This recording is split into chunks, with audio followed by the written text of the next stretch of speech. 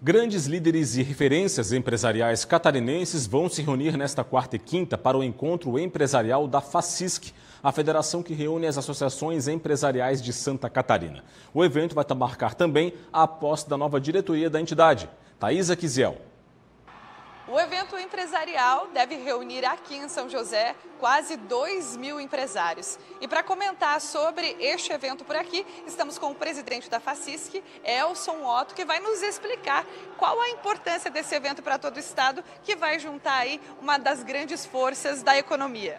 É um evento que está relacionado ao empreendedorismo, à gestão, à liderança, ao associativismo, fortalecer cada vez mais os negócios do nosso associado do sistema Facisc. Hoje a Facisc conta com mais de 41 mil empresas associadas ao nosso sistema e somos presentes no estado em 149 associações e também estamos presentes em 258 municípios do nosso estado.